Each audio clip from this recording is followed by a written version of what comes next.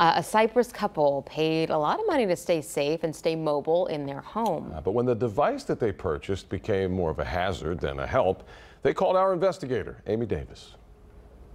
Before you make any major purchase, you should get multiple estimates and check reviews and the background of the company you're working with. Unfortunately, sometimes even good companies with the best of intentions can hit snarls that leave customers feeling frustrated. C, A minor. Janice and Jerry Dobbs know it's important to stay active, exercising their brains and their bodies. But when it became too dangerous for Jerry to climb the stairs of their two story home in Cypress, they paid $13,000 for this custom stair lift. Katy based Livewell Mobility and Modifications installed it in February. And it's been a problem ever since. Take a look. It happened on our visit. Jerry gets halfway up the stairs, and then at this landing, instead of turning the corner to continue the ascent, the stair lift stops. Sometimes when you get to the point where it stops, it just turns the power off completely. And sometimes Jerry is stuck precariously halfway up. I have done that one time, and slid out and slid down the stairs. Each time the lift malfunctioned, they called Livewell, and each time the company sent out a technician.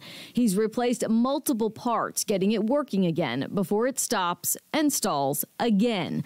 Still, no reliable working chair after 10 service calls in six months. I've offered my empty bedroom upstairs to the serviceman just to move in. But no one was laughing when Livewell yes. told them the manufacturer had finally agreed to replace the motor and brains of the chair, but it was on back order until the end of October.